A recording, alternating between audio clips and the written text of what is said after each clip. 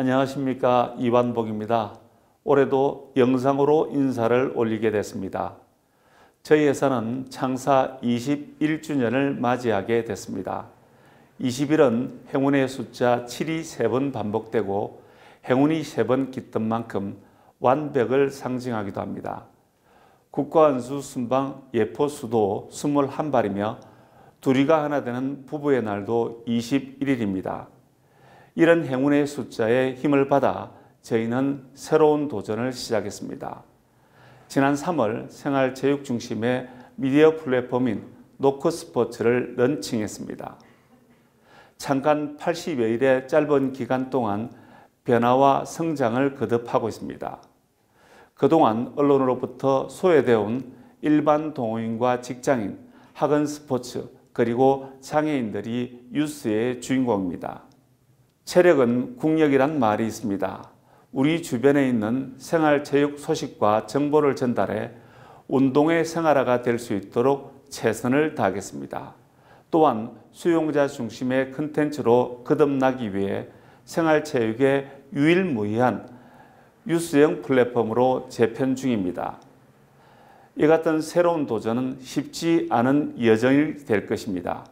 그러나 저와 임직원들은 지난 21년간 쌓아온 역량을 토대로 새로운 미디어 플랫폼으로 안착시키겠습니다. 여러분의 많은 관심과 응원을 부탁드립니다. 끝으로 그동안 부족한 저희 회사에게 아낌없는 배려를 해주신 모든 분들께 전 직원을 대표해 감사의 말씀 드립니다. 하느님의 손길이 여러분의 가정에 함께 하시도록 기도하겠습니다. 감사합니다. CBSI 창사 21주년을 진심으로 축하드립니다. 올해로 스물하고도 한 살을 더한 완연한 청년의 나이가 되었습니다. 강산이 두 번 바뀌고 1년의 세월을 더한 동안 CBSI는 많은 변화를 겪으면서 오늘에 이르렀습니다. 회사의 발전을 위해 다양한 시도들이 있었고 혁신의 노력들이 함께 했습니다. 그 결과 질적 양적으로 많은 성과를 이뤄냈습니다.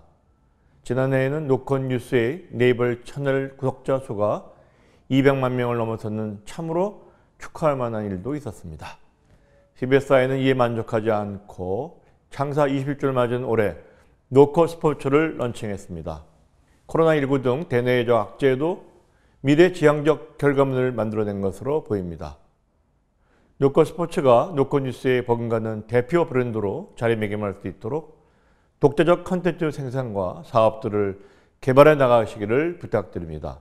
아울러 혁신적 마인드로 CBSi를 잘 이끌어 오신 이한복 대표와 직원들의 노고에 깊은 감사의 말을 전합니다.